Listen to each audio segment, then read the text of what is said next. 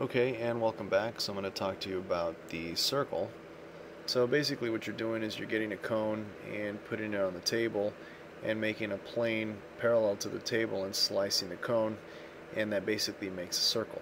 So just want to show you that illustration and now let me show you the formula.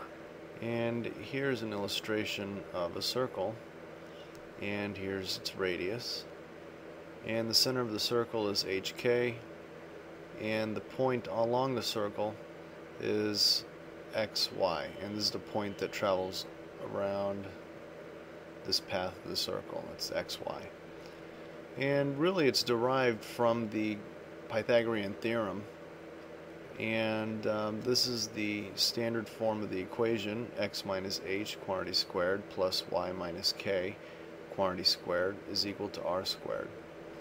And the center like I said is hk and the radius is r okay? So basically what's happening here is that the distance between the x and this h right here is this over here right? And the distance between the y and the k is this distance here. So to figure out what the radius is all you're doing really is calculating the distance between h and this x, so x minus h, and the k and the y, so y minus k.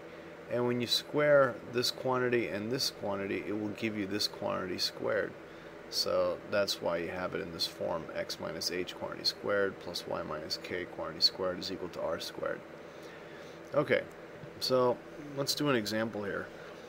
Let's say, for instance, we were given this. We were given a center at the origin.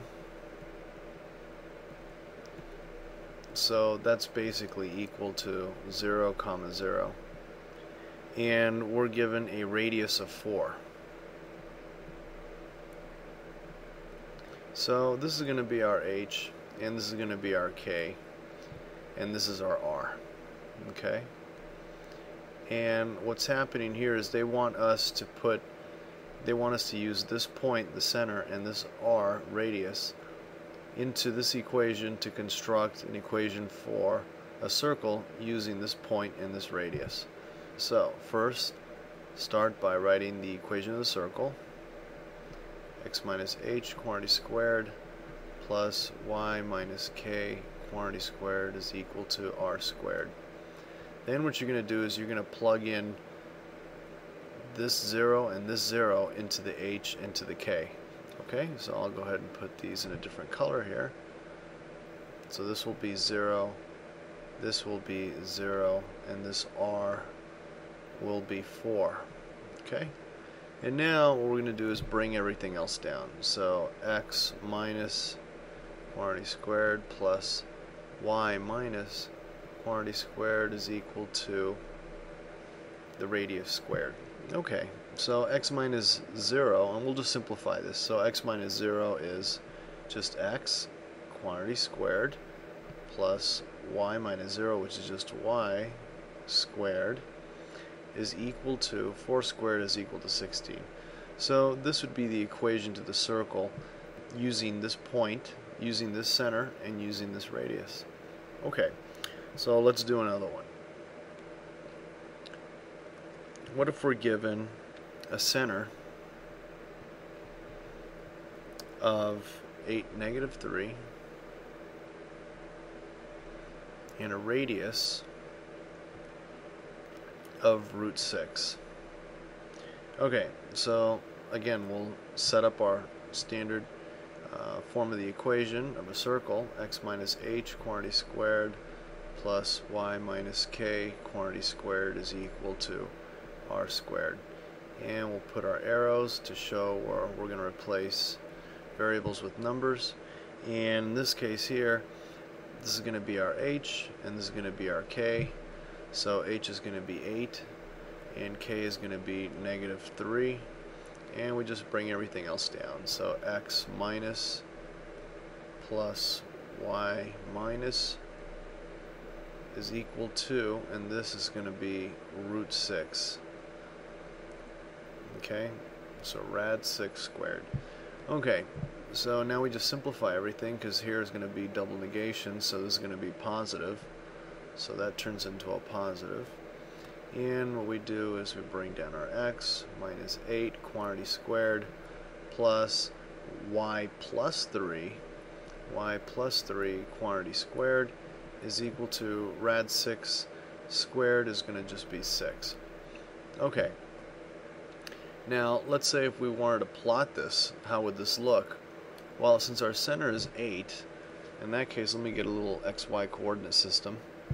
Okay, so that's going to be the point 8, negative 3, so 8, negative 3, and our radius is going to be root 6, so if you calculate that out, that's going to be about, it's going to be about 2.449, so rad 6 is about 2.449 so that's going to be 2.449 so let's just say it's about two and a half okay?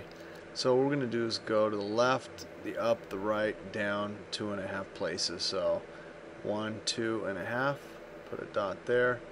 We're going to go one two and a half put another dot here and we're going to go one two and a half. Put another dot here and we're going to go down one two and a half and put another dot right about here. And we'll just go ahead and fill that in and we should get a circle okay?